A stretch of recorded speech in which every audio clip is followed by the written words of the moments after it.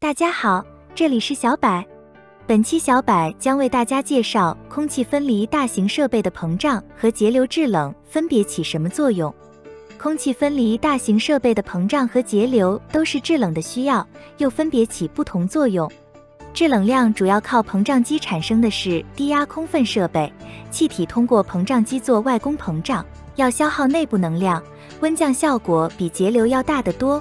膨胀机膨胀的温降在进口温度越高时，效果越大。但是，膨胀机内不允许出现液体，以免损坏叶片。对于中压空分设备，低温空气进入下塔，采用节流膨胀，以保证进塔空气有一定的含湿。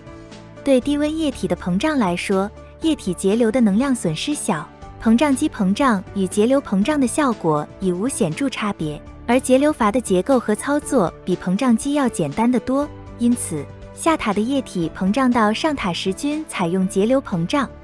因此，空气分离大型设备的膨胀和节流制冷互相配合使用，以满足制冷量的要求。制冷量的调节是通过调节膨胀机的制冷量来实现的。空分塔内的最低温度则是靠液体节流达到的。迪尔空分拥有丰富的项目工程经验。并不断利用创新技术优化设备节能与安全，是我国空分设备的主要制造商和气体供应商。本期的小百就到这里，关注小百，我们不见不散。